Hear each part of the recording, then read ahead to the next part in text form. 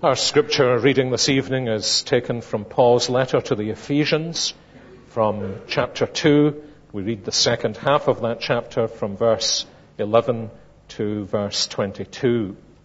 If you're new to looking at the Bible, then Paul's letter to the Ephesians is found after the four Gospels and Acts and Romans, the two letters to the Corinthians, and then you come to a little letter to the Galatians and then Ephesians.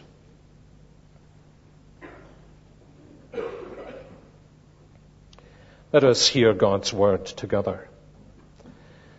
Therefore, remember that formerly you who are Gentiles by birth and called uncircumcised by those who call themselves the circumcision, that done in the body by the hands of men, remember that at that time you were separate from Christ, excluded from citizenship in Israel, and foreigners to the covenants of the promise, without hope and without God in the world.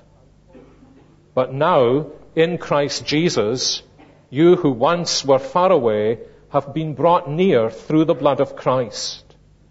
For he himself is our peace who has made the two one and has destroyed the barrier, the dividing wall of hostility, by abolishing in his flesh the law with its commandments and regulations. His purpose was to create in himself one new man out of the two, thus making peace. And in this one body to reconcile both of them to God through the cross by which he put to death their hostility. He came and preached peace to you who are far away, and peace to those who were near. For through him we both have access to the Father by one Spirit. Consequently, you are no longer foreigners and aliens, but fellow citizens with God's people and members of God's household built on the foundation of the apostles and prophets, with Christ Jesus himself as the chief cornerstone. In him, the whole building is joined together and rises to become a holy temple in the Lord.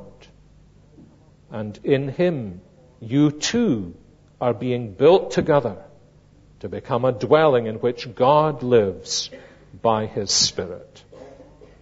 Amen. May God bless to us and help us to understand and apply the reading of His holy word.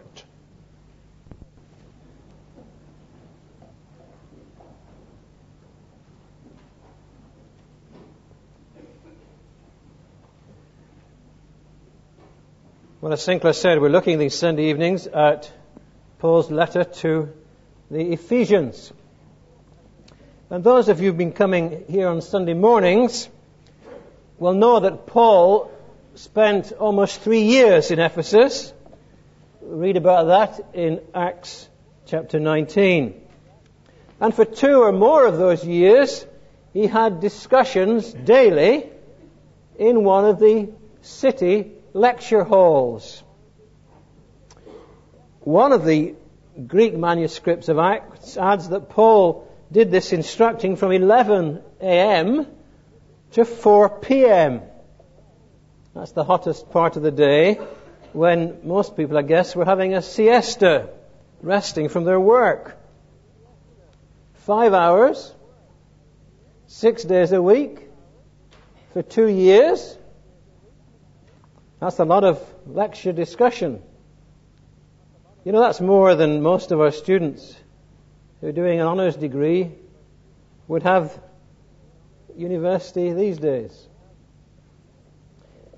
And here's Paul writing to the Christian believers in Ephesus a few years later, telling them what's involved in being a Christian and how they should be living as Christians. Now, granted, some of them have become Christians since Paul had left, but surely a good number of them must have they must have known what Paul was going to be writing about.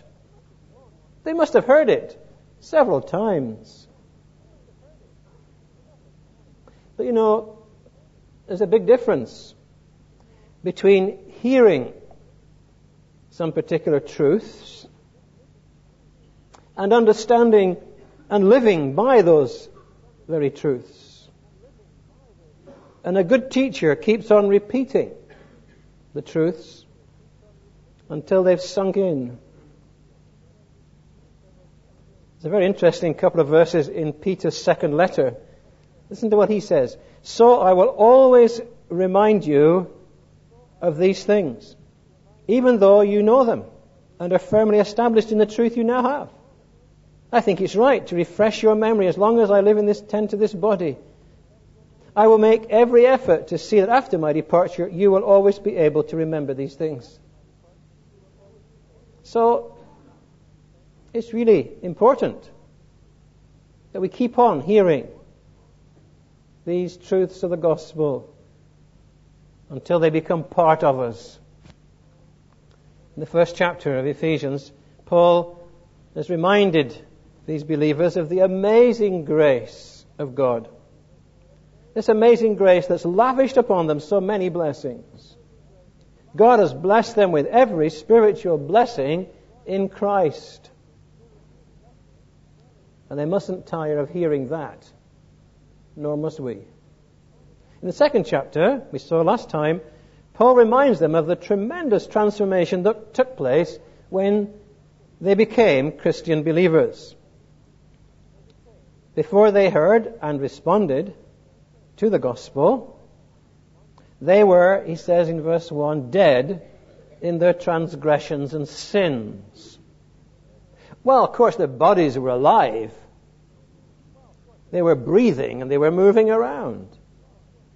But as far as their relationship with God was concerned, they were dead, stone dead, not a flicker of life. But then, he tells us, simply out of his great love for them, not because they deserved it at all, God did something. He made them alive in Christ. That means He forgave their sins through Jesus' death on the cross. He restored them into this living relationship with God.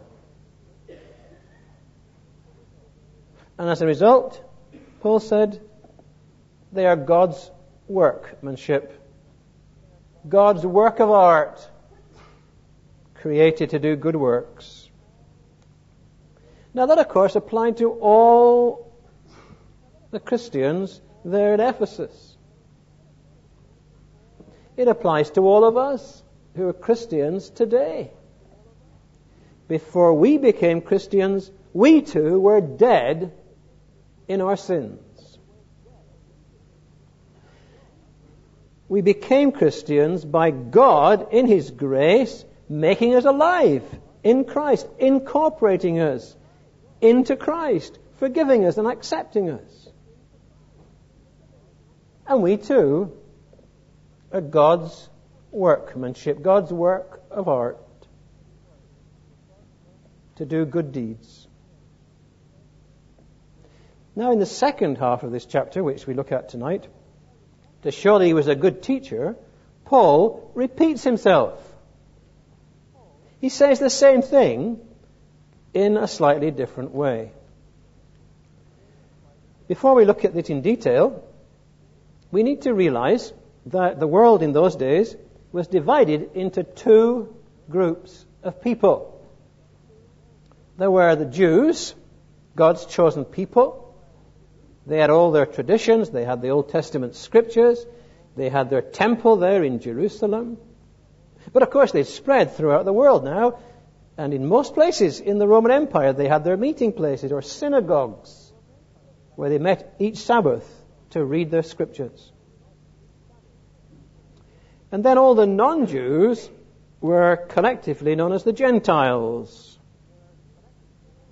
And these two groups of people, Jews and Gentiles, didn't have a lot of time for each other. They had little love or respect for one another. And amazingly, Paul, who'd been brought up as a strict Jew, had received a very clear commission from the Lord to take the gospel to the Gentiles. And this he'd done in several places. He'd seen Jews and Gentiles united in their newfound faith in Jesus Christ. But of course, in a place like Ephesus, the majority of the Christians would be Gentiles. And so at this point in his letter, it seems that Paul turns and he addresses specifically the Gentile Christians. Now, like the Jews, they too were dead in their sins. They too had been made alive in Christ. And they too were God's workmanship. But there were other things true about them as well. And Paul wants to remind them of these things. Now, I don't know everybody in church tonight. But I'd be surprised if there were more than a few, two or three, Jewish Christians here in our church tonight. I mean, people who were brought up as Jews and have now become Christians. They've believed into Jesus. There maybe aren't any. We're all here Gentiles. And so what Paul says is really very relevant for us tonight. In verses 11 and 12, Paul is saying to them, Remember what you once were. Remember what you once were. You'll see the word remember. He uses in verse 11 and in verse 12. You see, not only were they dead in their sins, like the Jews, they were also, he says this in verse 13, they were also far away. They were far away from God. They were far away from all the privileges that the Jews enjoyed. We had Scott and Nock Murray with us in church this morning. They live far away from us, normally, on the other side of the world, in Thailand. Suppose we lived a few hundred years ago, before there were emails. That would, have, would have been okay, wouldn't it? Anyway, before there were emails, before there were telephones, before there were aeroplanes, Scott and Knock really would have been far away then, wouldn't they? We maybe never see them.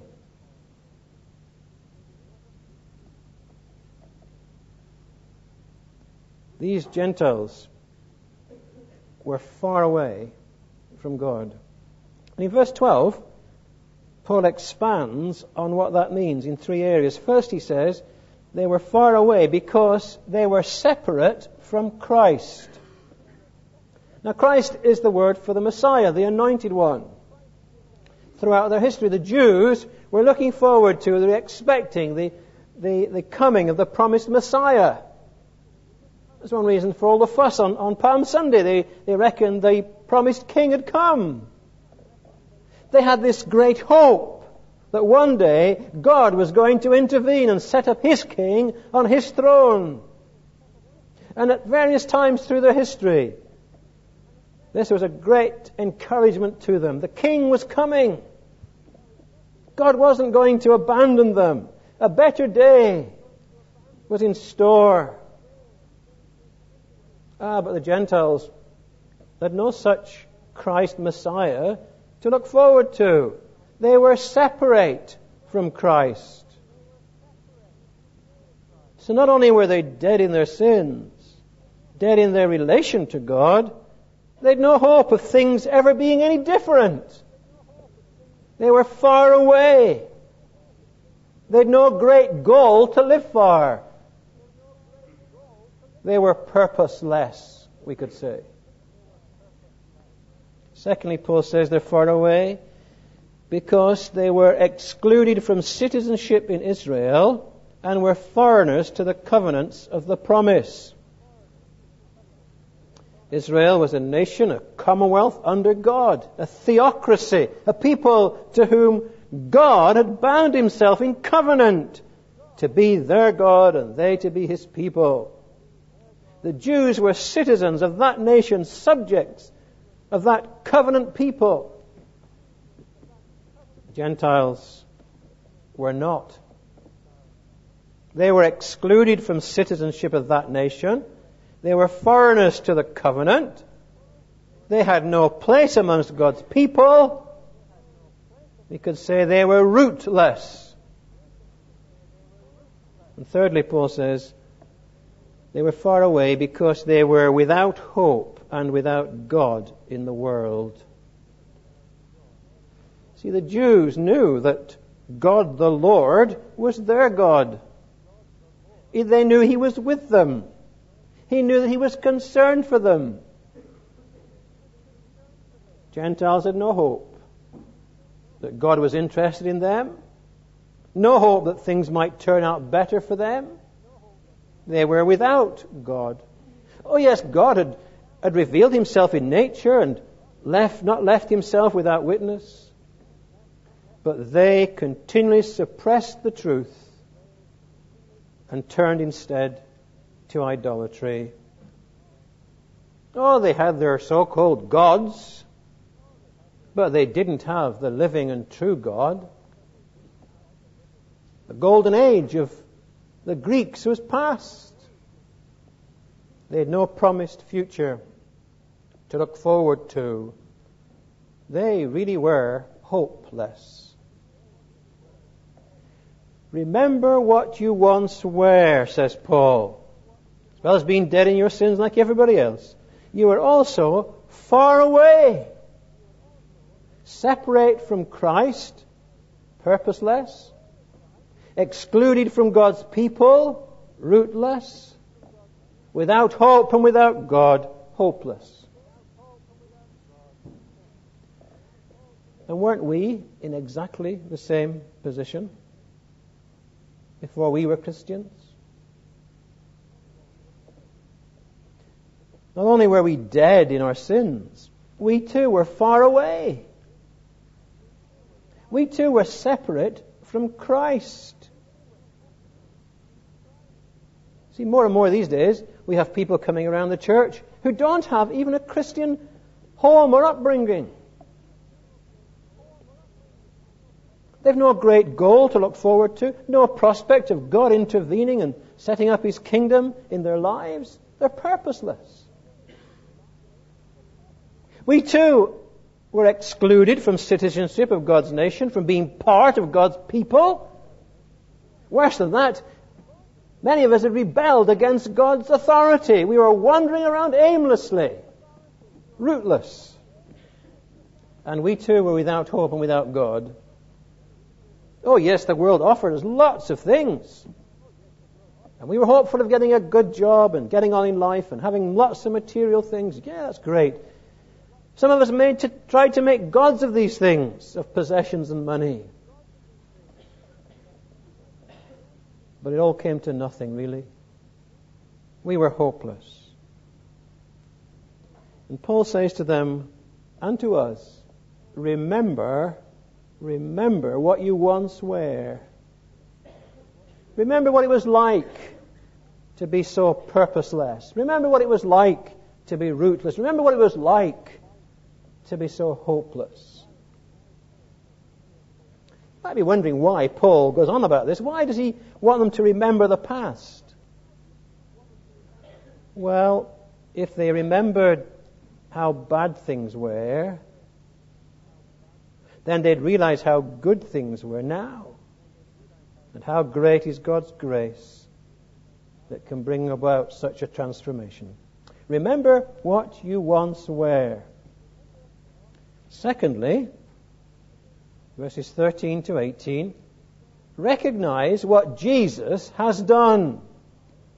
Recognize what Jesus has done. Now, in the first section, after telling them they were dead in their sins. Paul said in verse 4, But God, but God made you alive with Christ. In this section, Paul uses the same word but in verse 13. But now, and again he goes on to tell them what God had done. Look what he says, but now in Christ Jesus, you who were once far away have been brought near through the blood of Christ. You've been brought near. Now, this language of far away and brought near was not uncommon language in the Old Testament. God and Israel were known to be near one another, since God had promised to be their God and to make them his people. Moses could say, What great nation is there that has a God so near to it as the Lord our God is to us? But Gentile nations were far away. But now, but now, not only have they been made alive to God, they have been brought near to God. And in verse 13, Paul hints at how this has happened. Notice he uses the phrase, in Christ Jesus. And that refers to their conversion to Christ, their incorporation into Christ. And he also uses the phrase through the blood of Christ. And that refers to the historical event of the cross. God has brought you near, Paul's saying, by incorporating you into Christ and through the cross of Christ. But Paul, how, how has the cross of Christ brought us near? Well, Paul explains that in verse 14. Look what he says. He himself is our peace, who has made the two one and has destroyed the barrier, the dividing wall of hostility. What's he on about? Well, we ought, to help us understand what Paul's saying, we need to take a trip to Jerusalem at that time. And we need to go there and we need to visit the magnificent temple there in Jerusalem. It's constructed on an elevated platform. Around, around the main temple building is the court of the priests. East of this, there's the court of Israel. Further east is the court of the women. These three courts are all on the same level as the temple itself. From this level, we go down five steps to a walled platform. And then down another 14 steps to another wall beyond which is the outer court, the court of the Gentiles. It's a very spacious court. It surrounds, runs right round the temple and these other courts. And from any part of this court, the Gentiles can look up and can view the temple. But they're not allowed to approach it. They're cut off by this surrounding wall, four and a half feet high. And on this wall, at regular intervals, are displayed warning notices in Greek and in Latin, saying not Trespassers will be prosecuted, but trespassers will be executed. Now, we thought about this morning, didn't we? We were thinking about Paul in the temple and being accused of taking Gentiles into the temple. And it caused a riot. Is that serious? Now, that's the barrier. That's the dividing wall keeping out Gentiles that Paul's referring to here. And he's saying that when Jesus died on the cross, he brought us near by not only making peace between us and God, but also by destroying that barrier, breaking down the wall that separates us from the people of God.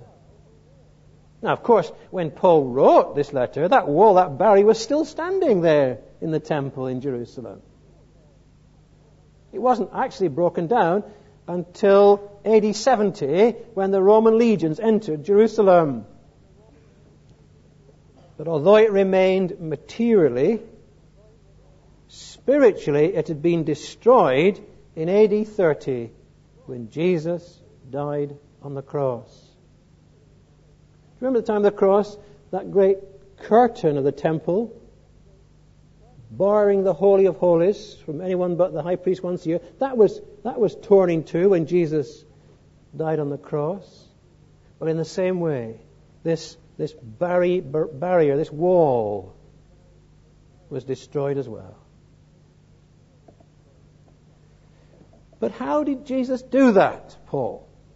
How did the death of Jesus on the cross destroy that barrier and so make the two people one? Well, Paul tells us in verses 15 and 16.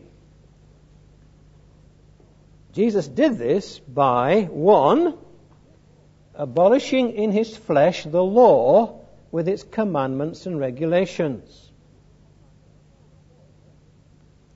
But, Paul, how can you say that Christ abolished the law when Christ himself, on the Sermon on the Mount, said that he'd come not to abolish the law, but to fulfill it?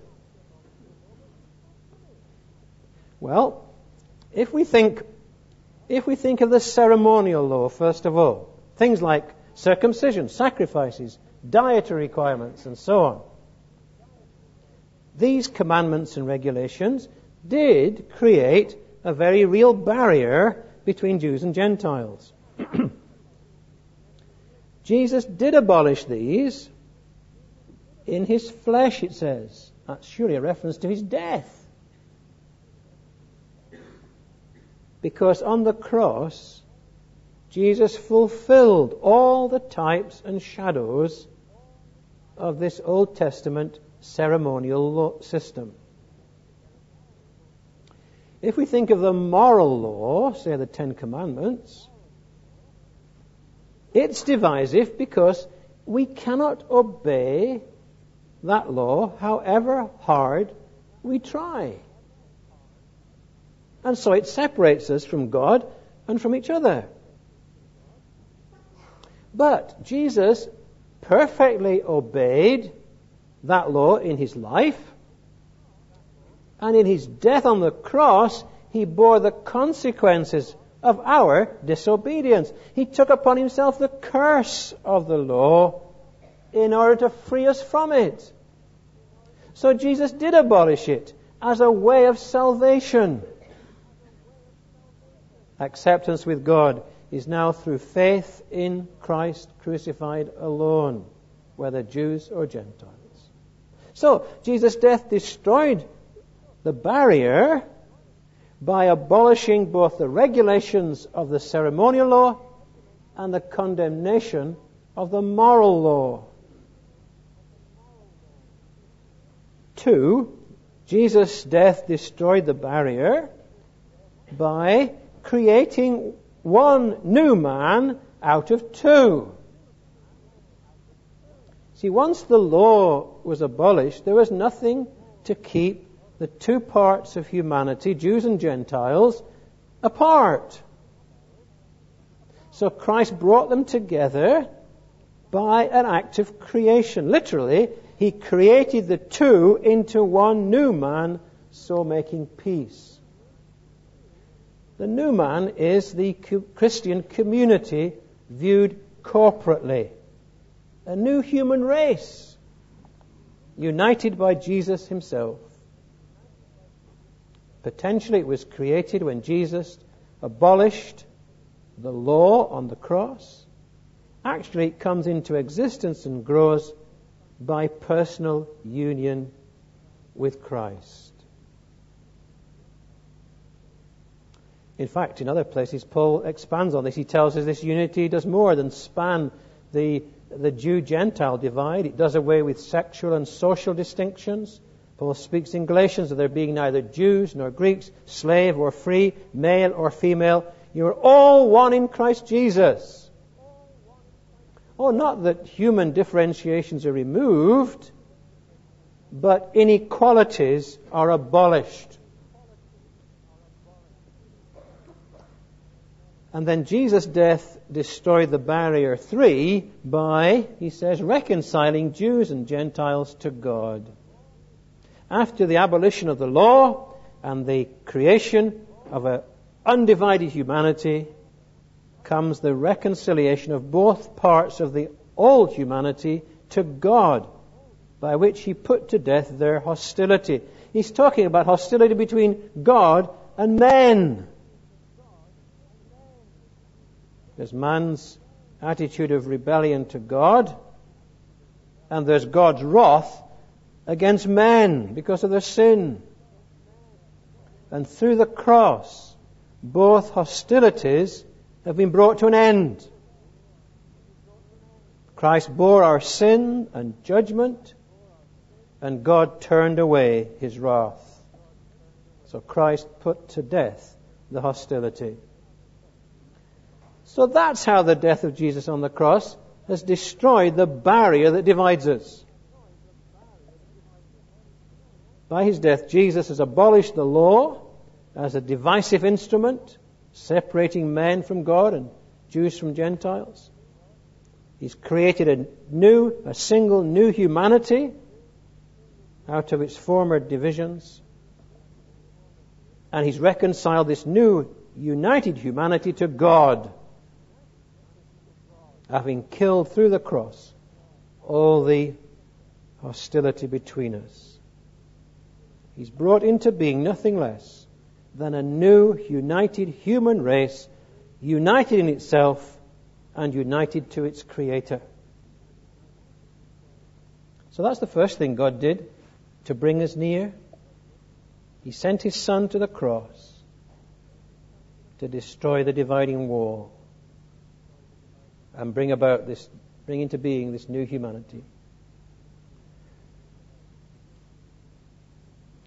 You know, this week, through this week at our lunchtime services, we're going to be thinking a lot about the cross.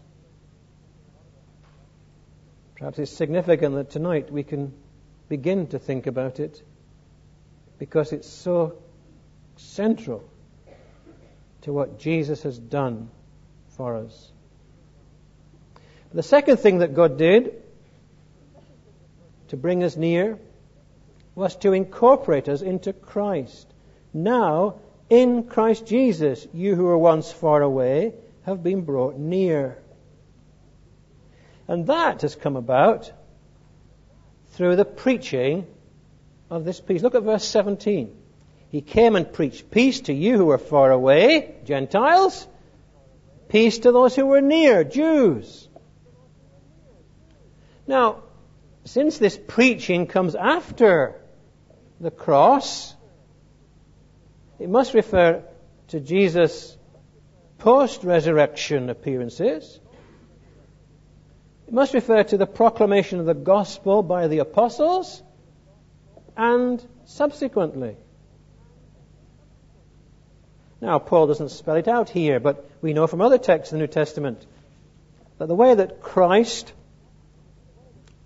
the way that what Christ has done on the cross, the way that's made real to us, and the way that we are incorporated into Christ is by the Holy Spirit taking the preached word and bringing saving faith to birth in us. Faith comes by hearing the word of Christ. And the evidence that that's happened, that we are in Christ, is in verse 18. We both, Jews and Gentiles, have access to the Father by the one Spirit. So Paul's saying, recognize what the Lord has done. He's brought you near through Christ's death on the cross, and He's brought you into Christ. Jesus' death has destroyed the barriers and created a new humanity. You are now in Christ through the preaching of that word. Isn't that fantastic? What more could the Lord have done for us? And then, thirdly, Paul goes on remember what you once were, recognize what the Lord has done. Thirdly, realize what you have become. Verses 19 to 22. In the first section, remember verse 10, Paul says, For you are God's workmanship. You're God's work of art.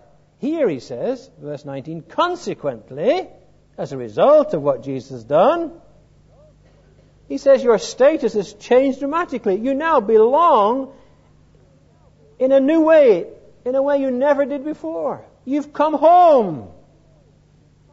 And he expands on that by saying that they've become part of the church. And he gives them three pictures of what that means. So, first, he wants them to realize that they've become part of God's kingdom. You're no longer foreigners and aliens, but fellow citizens with God's people. He's thinking there about being a citizen of God's kingdom. He's not thinking about a territorial kingdom. He's not thinking even of a spiritual structure. God's kingdom is God Himself ruling His people and giving them all the privileges and responsibilities which His rule implies. And to this God ruled community, Jews and Gentiles belong on equal terms. See, here's Paul writing at the height of the Roman Empire. But he sees another kingdom, more splendid, more enduring than any earthly kingdom. And he rejoices in the citizenship of this kingdom even more than his Roman citizenship. Citizens of this kingdom are free and secure, no longer rootless but stable and secure. You're part of God's kingdom, he says. You really belong. Secondly, Paul wants them to realize that they become part of God's family. Verse 19b says, members of God's household. Becoming part of a kingdom is one thing, becoming part of a family, well, that's another thing altogether, isn't it? In Christ, Jews and Gentiles are more than fellow citizens of God, under God's rule, they are together children in God's family. He just mentioned in the previous verse about having access to the Father. Earlier in chapter 1, he spelled out some of the blessings of being adopted into God's family. Here, I think he's thinking about the brotherhood into which they'd been brought, a brotherhood across racial barriers. You know, brethren, brothers and sisters, is the commonest word for Christians in the New Testament. We're brothers and sisters. It expresses a close relationship of affection and care and support. Brotherly love should be the, character, the characteristic of God's new society. Paul saying you belong to a family.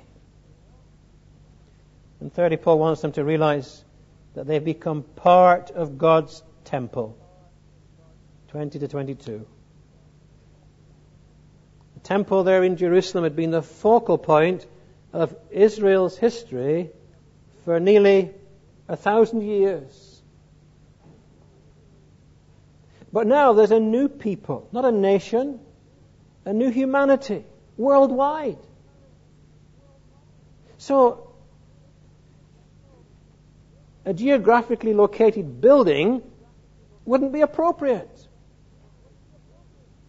No, no, the temple, the focus of unity is now the church.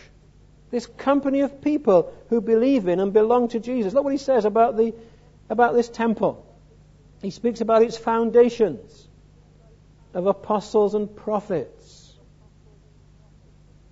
He's talking about the New Testament scriptures, surely. And like any foundation, these can't be tampered with or changed by additions or subtractions or modifications.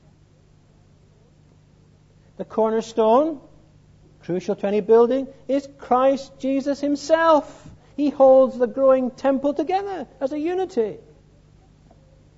The individual stones, well, these are the individual church members.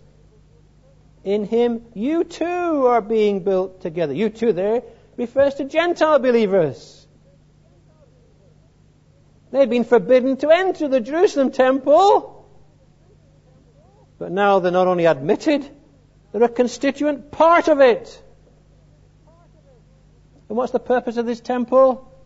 Well, like the old temple, to be a dwelling place of God. This is where God dwells. This is where God makes his home.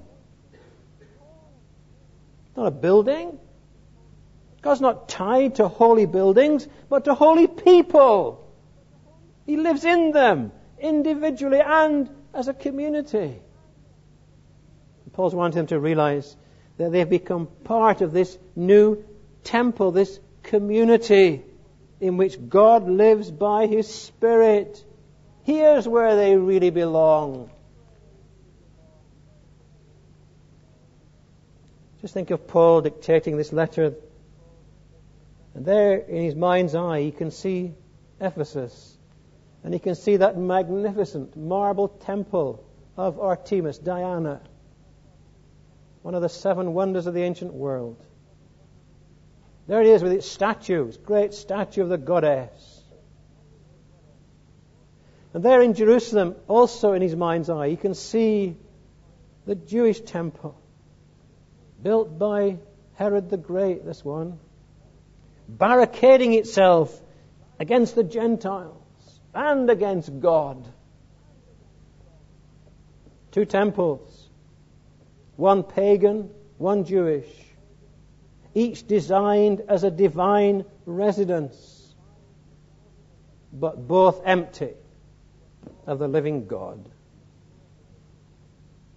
But now there's this new temple, a dwelling in which God lives by His Spirit, His new society, His redeemed people scattered around the world.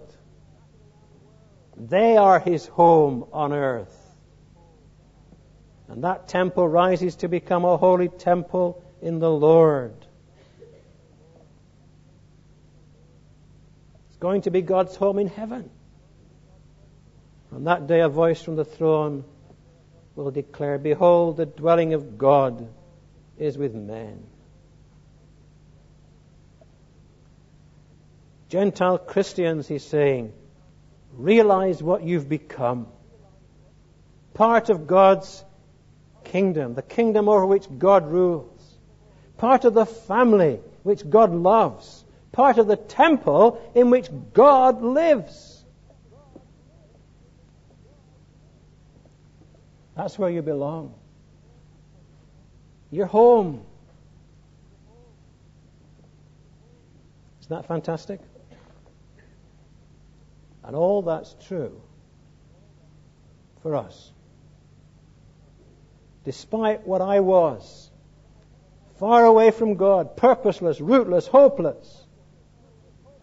Christ died for me to bring me near. He's removed all the barriers. He's created a new humanity. He's reconciled me to others and to God. And He's brought me home to where I really belong. Far away, brought near, brought home. It's great to be a Christian, you know. It's fantastic. And I need to ask you tonight are you far away from God? Are you purposeless and rootless and hopeless? Or you might be a regular church attender. You might never have been here before. Are you feeling far away tonight You are far away, aren't you? Well, listen, we're reminded of it this very week in the Christian year.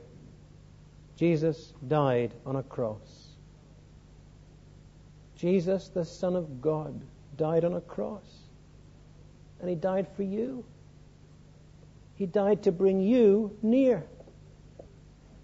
He died to destroy all the barriers that are keeping you out. He died to reconcile you to himself and to other Christians.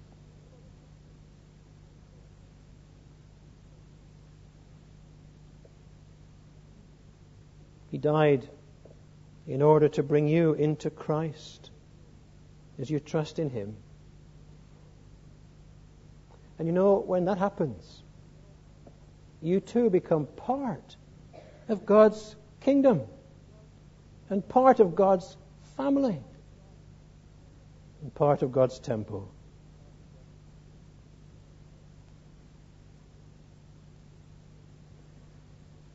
But we need to trust into Christ to do that. We need to admit that we are far away. And that's hard for some of us. But we need to admit that we're far away from God. We need to believe that Jesus on the cross did all that for me. We need to ask Him to bring us into Christ as we trust in Him. And then we just need to enter into these wonderful privileges of belonging you know there'd be no better time to do that than Easter week? Would there? In fact, there'd be no better time to do that than tonight. Why wait till Friday or Saturday or Sunday?